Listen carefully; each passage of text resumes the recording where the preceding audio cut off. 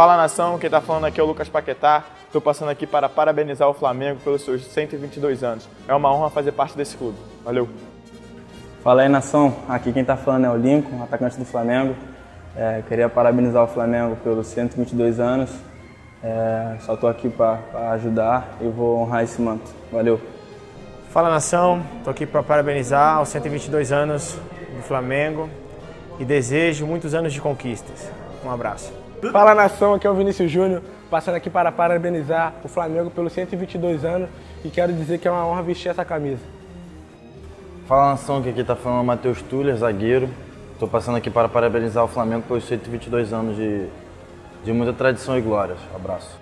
Fala nação, que está falando aqui sou o Clebinho. Estou muito feliz por fazer parte desses 122 anos do, do Mengão e mais feliz ainda de poder estar tá jogando no maior clube do Brasil. Tamo junto.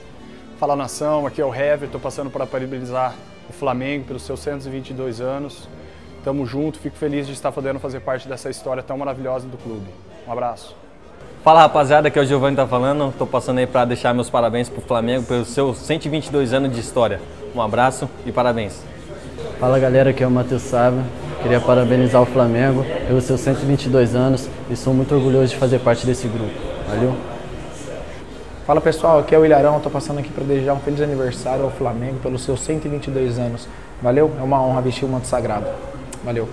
Fala nação rubro-negra, passando aqui para parabenizar essa grande instituição, o Flamengo, pelos seus 122 anos. É uma honra fazer parte dessa grande nação.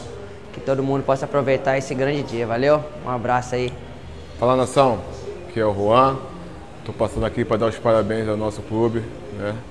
Dizer que é um imenso prazer para mim ter sido um torcedor, ser um torcedor e vestir essa camisa dentro dos campos. É, devo muito ao Flamengo, tanto profissionalmente como na minha formação como homem. E amo esse clube. Espero muitas, dar muitas alegrias ainda para a torcida do Flamengo.